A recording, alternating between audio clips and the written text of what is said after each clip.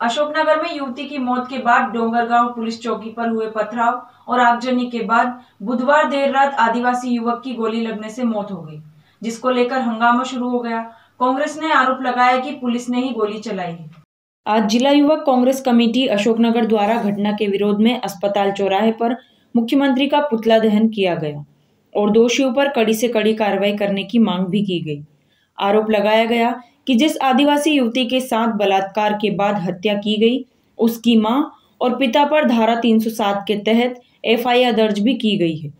तो वहीं भैरूलाल, जिसे पुलिस ने गोलियों से मार दिया, उसको तक नहीं बख्शा गया और मरने के बाद भी 307 के तहत एफआईआर दर्ज की गई है। ग्रामीण भारत टीवी के लिए मुंगावली से मनीष सोनी की रिपोर्ट। खबरों में बने रहने के लिए ग्रामीण भारत टीवी को सब्सक्राइब कीजिए और बेल आइकॉन दबाना ना भूलें।